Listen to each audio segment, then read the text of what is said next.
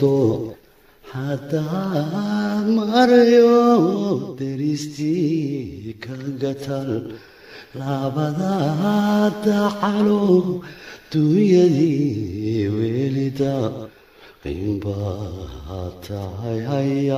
waa maxamed maxamuud cige buusi allaha u naxariistay uu ku geeriyooday magaalada hargeysa isla maantana aas qaran loogu sameeyey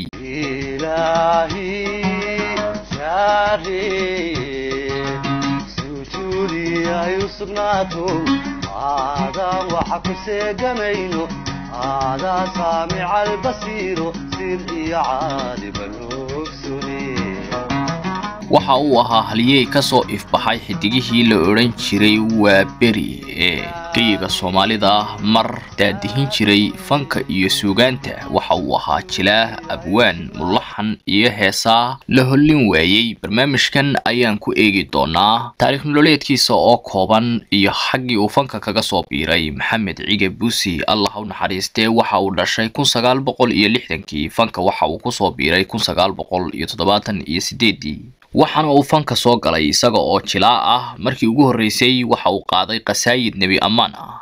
Heestiisii ugu horreysayna waxa ay ahayd waa heesta la yidhahda allahayo haweendaa allahayo haweendaa miraheeda waxaa le allah u naxariistay abwaan cabdi cali weyd lixankeedana waxaa le allah u naxariistay cabdilqaadir muuse.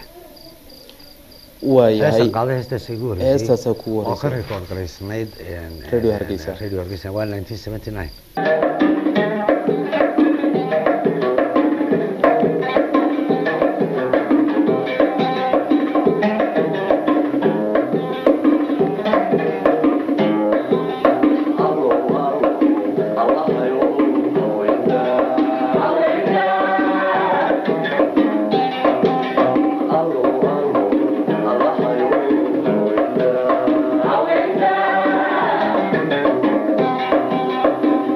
should have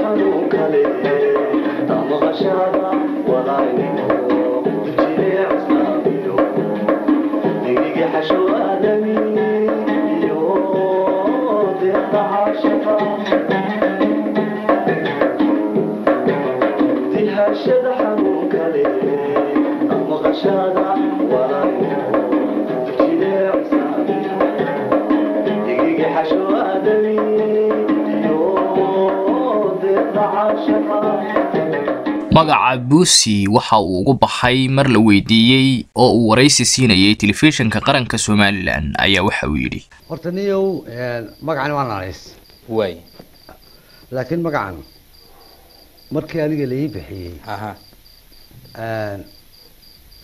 kolay nin malaha carruurnimadii iyo malcaamadii baa laigu bixiyey oo nin boor badan baan ahaa waay markaa buslaa la ii odhan jiray ha dabeeto waktigii aanu ardayda noqonay iskuolka bulaxaar baanu intermediankaygi aanu ka galnay wiiladeydii waay inkastoona dee waktiga sheegayno. Anina yar ahaadee ciyaal iskuul. Ah, raggii adu magacaa soo gaabiyey. Agaasimaha waaxda dhaqanka ee wasaaradda warfaafinta ka mid ah cabdiyar oo kudita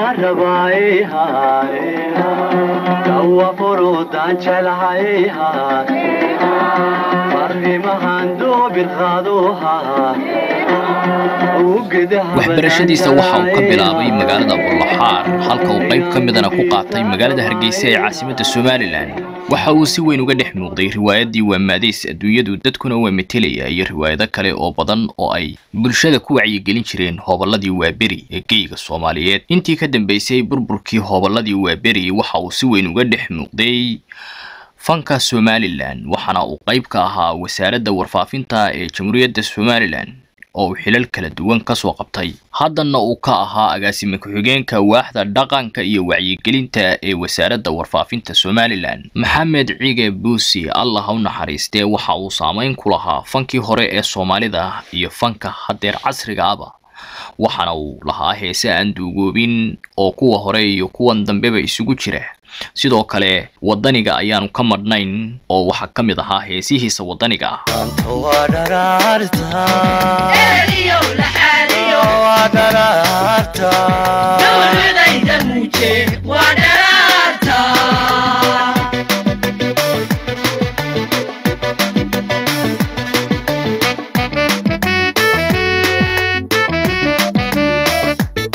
waxa uu ifka kaga tegey maxruumku siddeed iyo toban carruur ah iyo saddexaas waxaana maanta aas qaran loogu sameeyey magaalada hargeysa ee caasimadda somalilan. Ilaahay naxariistii janno ha ka waraabiye